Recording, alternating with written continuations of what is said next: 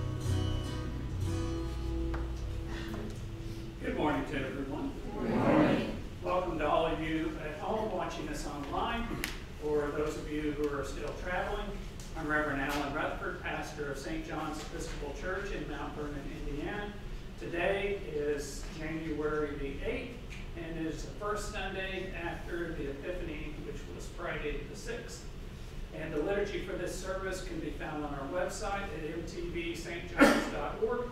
Or if you have a Book of Common Prayer, you can follow along beginning on page 355. So let us begin. Blessed be God, Father, Son, and Holy Spirit. Blessed be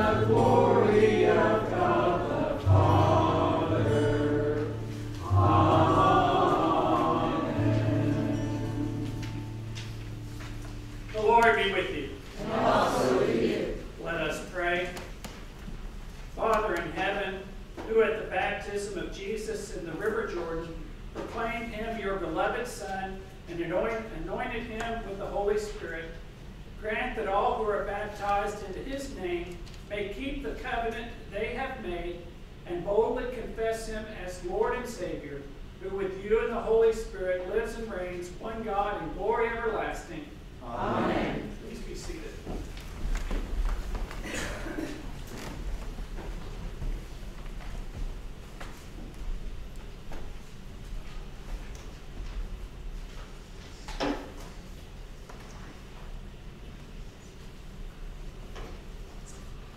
Our first reading today is from the book of Isaiah.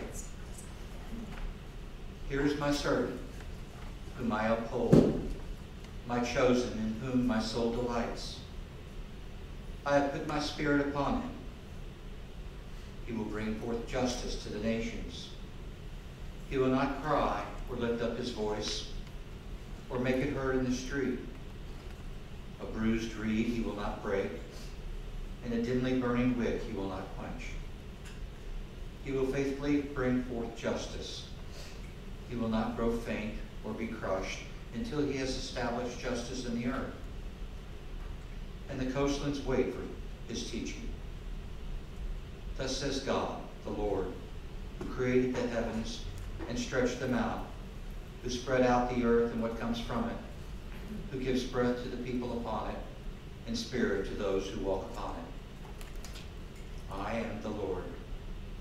I have called you in righteousness. I have taken you by the hand and kept you.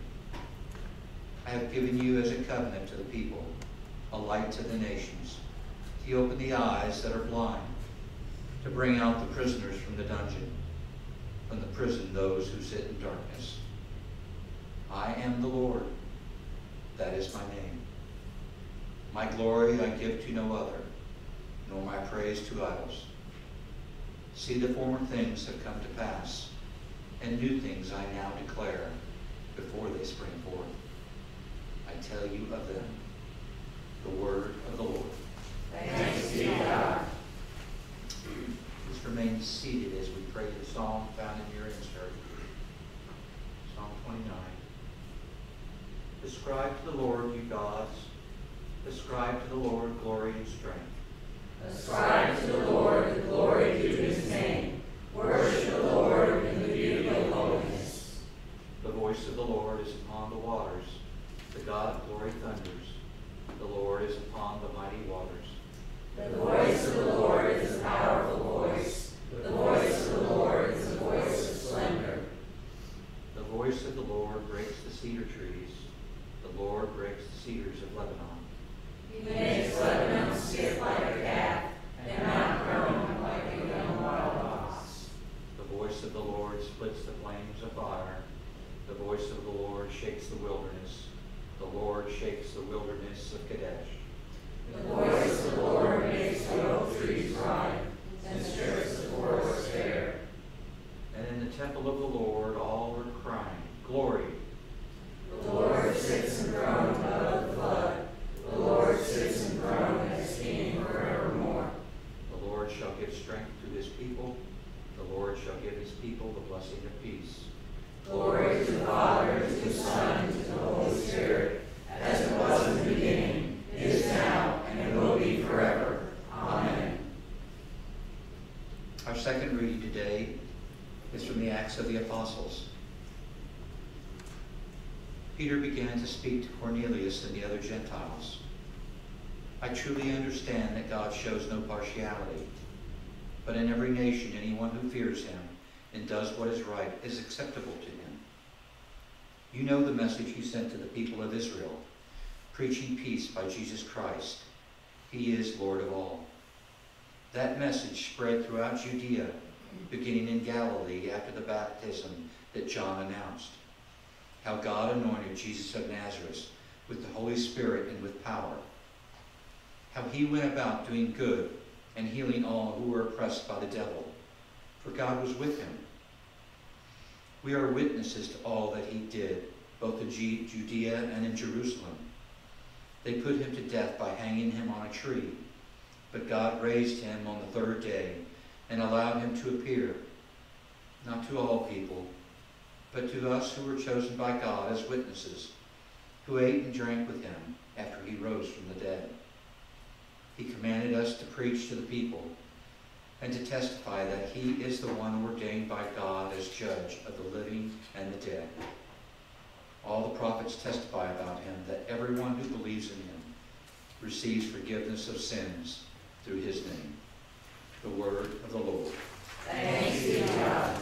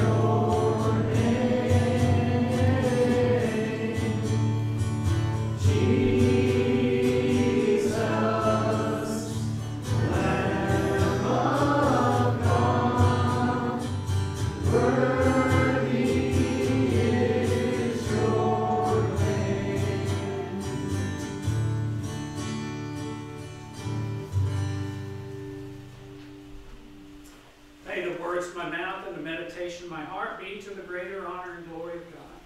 Amen. So I don't know how it is at, uh, at your home, but uh, Christmas is over. the Christmas tree is put away, all decorations, uh, Christmas lights are off the front of the house, and even at here at St. John's, uh, the only remnant uh, that we even had Christmas, or the is still up. The wise men came uh, on Epiphany as usual, and even Wally, the wayward camel, uh, showed up uh, eventually. And, uh, and but, you know, it'll go away here pretty soon. And so we are focusing not now on this uh, infant child, but now we're back to focusing on Jesus as an adult. Uh, the only story in the Bible of Jesus from his birth to uh, adulthood is uh, the brief story in Luke where Jesus is 12 years old and uh, in the temple it is what we today would call bar mitzvah. And um, so this is kind of this shift from this infant Jesus at Christmas time to now Jesus being baptized is, is falling at this time of year is after Christmas is okay. Now everything is put away. It's time to get back to a somewhat uh, normal life. Uh, get back into our routines, if, if possible, even at all, uh, given ongoing situations. So what we, our gospel uh, that is always on the first Sunday after the Epiphany is the baptism of Jesus. It's this year, year A, it's uh, Matthew, next year will be Mark, and then Luke is always in the third year. And so those stories uh, keep coming up. So in a sense, it's kind of a, it's one of what I call bookend. Uh, so the first Sunday is always the baptism. The last Sunday of Epiphany is always the transfiguration of Jesus. And then we have uh, a bunch of stories. We get back to green season again uh, beginning next week. But focusing on this baptism of Jesus, it has some theological issues with it. Mainly, why was Jesus baptized in the first place? If, if, in our minds, we think of uh, baptism as being baptism for the forgiveness of sins and uh, for uh, the, the light of Christ coming within us, receiving the Holy Spirit and then going forth and living this Christ-like life. But we're told that Jesus lived a perfect life. He lived a sinless life and had to die on the cross, sinless, uh, to be an example for us. But so, like I said, our understanding is that we were baptized for the forgiveness of our sins, but he didn't necessarily need that. His baptism was was more of what I would call an inauguration or a consecration, a commissioning, if you even will. The beginning of God saying, okay, now it's time to uh, for you to go about doing your ministries, which eventually leads to his death on the cross and his resurrection.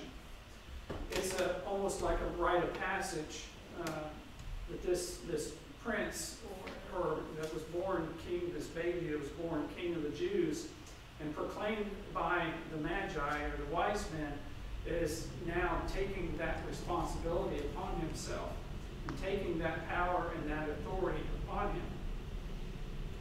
He is, is anointed um, by the Holy Spirit, but my, in my thinking in my theology and in our Nicene Creed, that that Holy Spirit is with God and is with the Son is always there so it's that Holy Spirit, when it says the Holy Spirit coming upon him, is just a reaffirmation that it was already there in the first place, and for him to take hold of it and use it as a tool.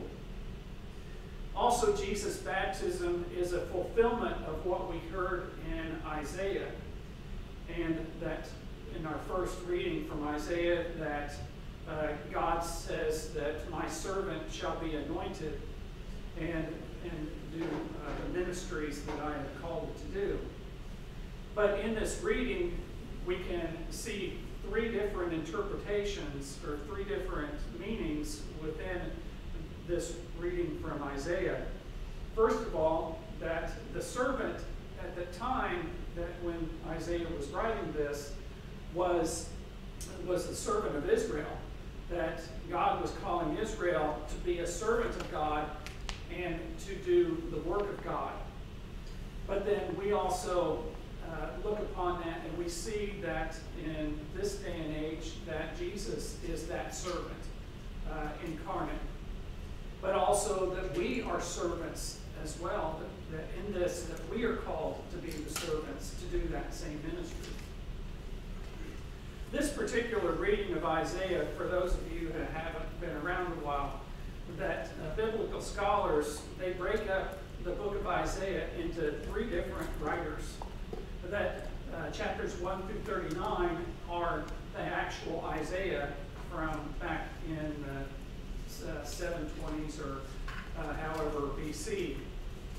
And then the second one is chapter 40 through 55, and then 56 uh, through 66. The end is the third Isaiah. So this actually falls within that second Isaiah. And second Isaiah is writing to the Jewish people and the Israelites who are in the Babylonian exile, in captivity. And just one of the things that Jeremiah had told them, even before they went into exile, was that they needed to go, go boldly into the exile to build houses, plant vineyards, raise families, basically go there, get comfortable until God called you back and but also be an influence. So second Isaiah is also looking back at what Jeremiah is saying and also adding on to that and saying, don't just say, woe is me in the exile, but get busy. God is calling you to a ministry among these people to be, uh, to be a good example, to, uh, to, to do the things we have uh, Daniel as an example. We have Esther as an example of those people who were in exile in uh, Babylon who, um, who did good ministry. In a sense, we are free and yet we are captives ourselves. That through our baptism, that we are free from sin and most of all, we are free from death we're not necessarily totally free from sin, but we're free from the punishment of sin through Jesus Christ. But we're captives, we're still enslaved within a broken and sinful world ourselves. But like Israel, that in our baptism, that we are commissioned. And as our, um, as I read in the, uh, the opening collect or the collect for this particular Sunday, that through our baptism that we are called to be faithful to our covenant. What is that covenant? That is our baptismal covenant that we say that we will uh, carry on the work of the apostles, that we'll break bread and uh, be faithful in our prayers, that we will seek justice, that we will respect the dignity of every human being, and seek and serve Christ in all people these are the things that when we are baptized, that we, and, and they will confirm that we are called to do. That's our commissioning as well. So just as Jesus was baptized and said, God said, okay, now it's time for you to do your ministry, it's time for us to do that as well. So as we think about this new year, and we always have a new year, that uh, we, we make resolutions or we try to maybe think about and plan out how this year's going to go. Of course, the minute, as they say, often say, in wartime, a plan is great until the first shot's fired, uh, and then things go awry. And that's true of a lot of our New Year's resolutions and our plans for a happy and wonderful and healthy New Year, that it, the plan is great until we reach the first adversity. But we have Jesus to fall back on uh, in faith and hope in Him. And I hope that in your lives that you are thinking about, uh, and asking yourself multiple questions of uh, how am I going to be more faithful to Christ in this coming year?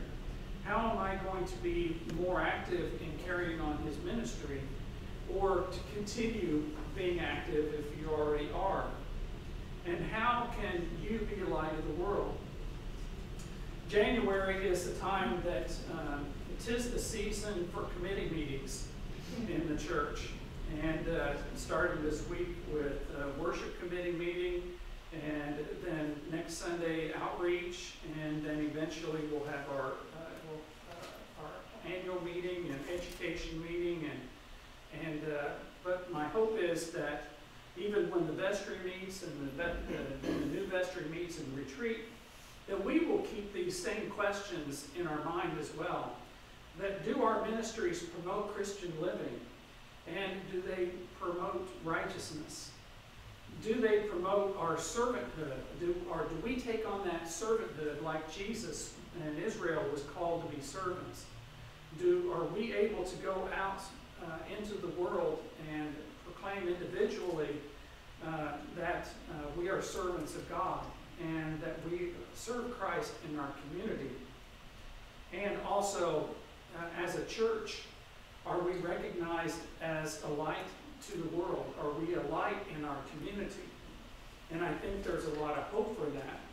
Um, for those of you who are not privy, um, I've been waiting forever to hear from the State Department of Children's Services, and it looks like uh, that we will get our agreement and our document. So I'm looking forward this year to us having a ministry of our own in helping children in our house next door, and in that sense being a light to the world. But I hope that in all that we do, that we are a light to the world, and that we are continuing on the work that Jesus began at his baptism at the River Jordan. Amen. Amen.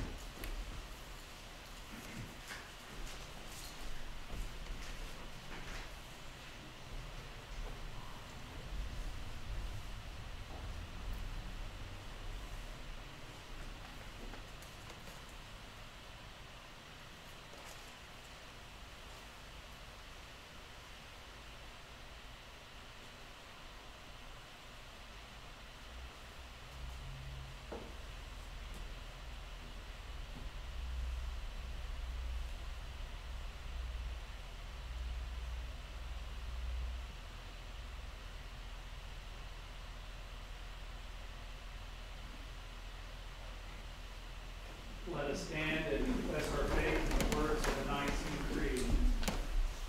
We believe in one God, the Father, the Almighty, maker of heaven and earth, of all that is seen and unseen.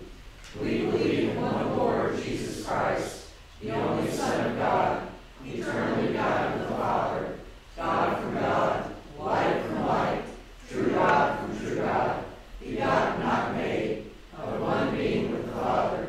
Through him all things were made. For us and for our salvation, he came down from heaven. By the power of the Holy Spirit, he became incarnate from the Virgin Mary and was made man. For our sake he was crucified in Pontius Pilate. He suffered death and was buried. On the third day he rose again, in accordance with the Scriptures. He ascended into heaven and is seated at the right hand of the Father. He will come again in glory to judge the living and the dead, and his kingdom will have no end. We believe in the Holy Spirit, the Lord, the giver of life, who proceeds from the Father and the Son. With the Father and the Son he is worshipped and glorified. He has spoken through the prophets. We believe in one holy Catholic Apostolic Church. We acknowledge one baptism for the forgiveness of sins. We look for the resurrection of the dead and the life of the world to come. Amen. The prayers of the people are Form 6, and in the Book of Common Prayer on page 322.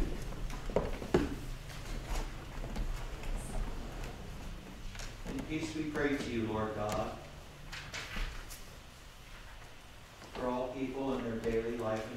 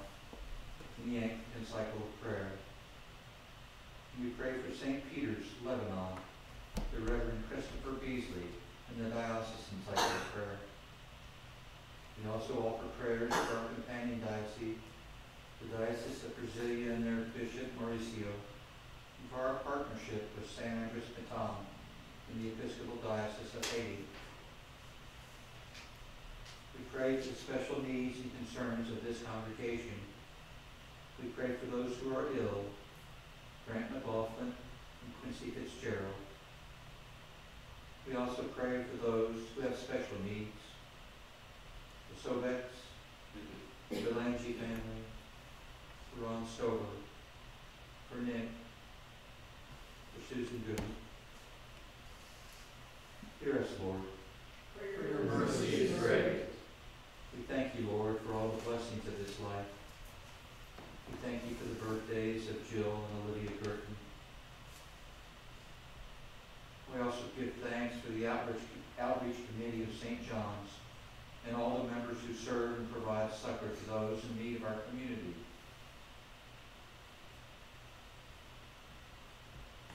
for my daughters, my wife, my grandson.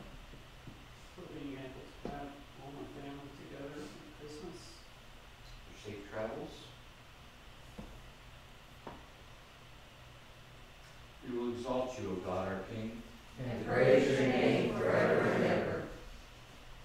We pray for those who have died, that they may have a place in your eternal kingdom. We especially pray today for Donald Trump. Lord, let your loving kindness be upon them. Put their trust in you. We pray to you also for the forgiveness of our sins. Have mercy upon us,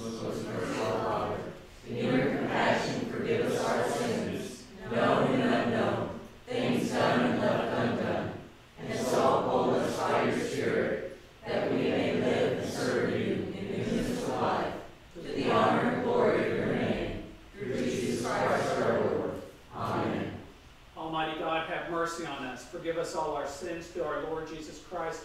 Strengthen us in all goodness, and by the power of the Holy Spirit, keep us in eternal life. Amen. The peace of the Lord be always with you.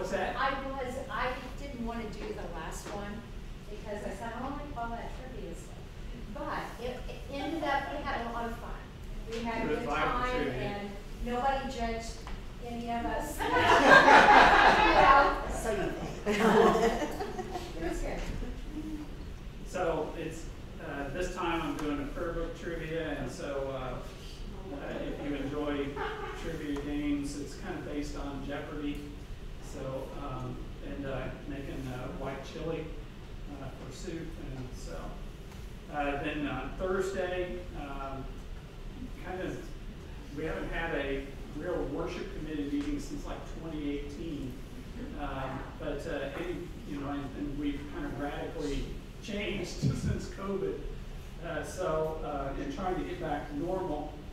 So, Encourage anyone who wants to uh, provide input uh, to come uh, to the meeting. There's also will be a Zoom option for that uh, if you just want to uh, come in on the Zoom on that. So, is there any other announcements? Yes. If anybody has Christmas cards they want to recycle, I will take them to use for the next year's Christmas series. It's For Christmas on the River program. Christmas on the river, so I, I will take them and re- recycle them. Let us with gladness offer our life and oblations to the Lord.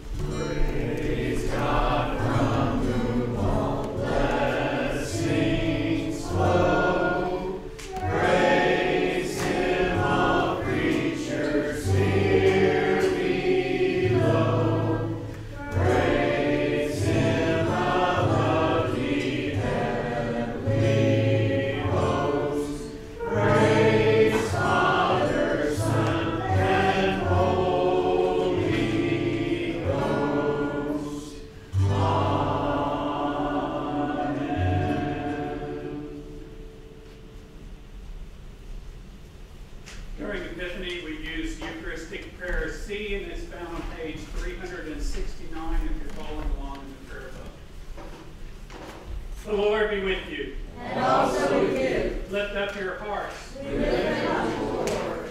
Let us give thanks to the Lord our God. It is right to give thanks and praise. God of all power, ruler of the universe, you are worthy of glory and praise. Glory to you forever and ever. At your command, all things came to be. The vast expanse of interstellar space, galaxies, suns, the planets and their courses, and this fragile earth, our island home. By your will they were created and have their being. From the primal elements, you brought forth the human race and blessed us with memory, reason, and skill. You made us the rulers of creation. But we turned against you and betrayed your trust, and we turned against one another. Have mercy, Lord, for we are sinners in your sight. Again and again you called us to return. Through prophets and sages you revealed your righteous law. And in the fullness of time you sent your only Son, born of a woman, to fulfill your law, to open for us the way of freedom and peace. By his blood he reconciled us. By his wounds we are healed. And therefore we praise you, joining with the heavenly chorus, with prophets, prophets, apostles, and martyrs, and with all those in every generation who have looked to you in hope to proclaim with them your glory and their unending hymn. And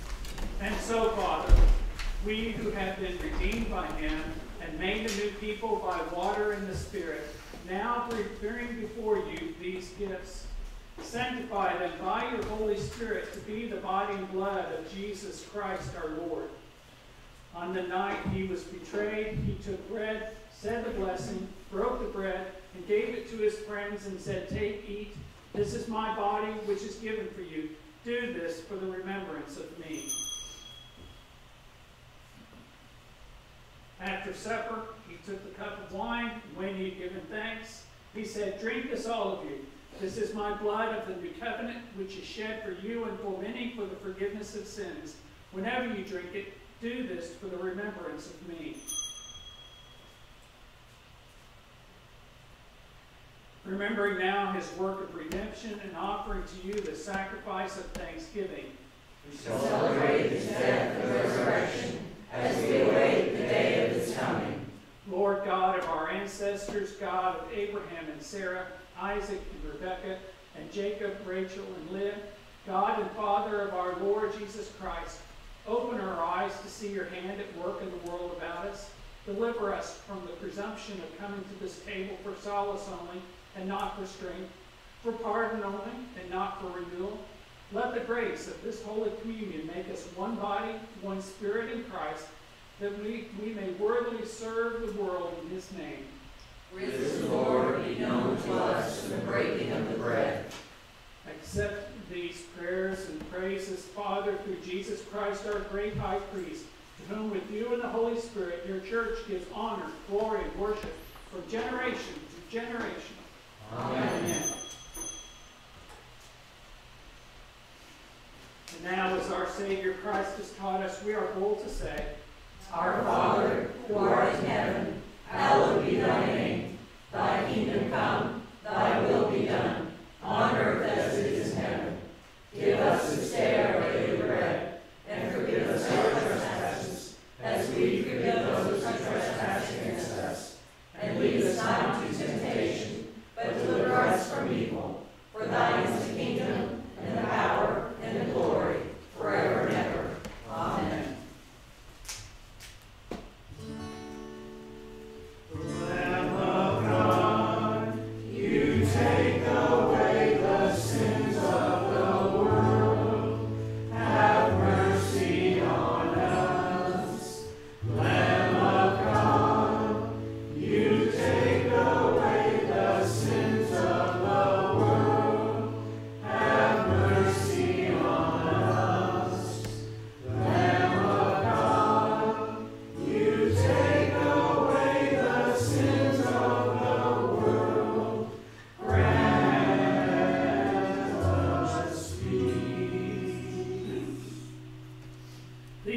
gifts of God for the people of God.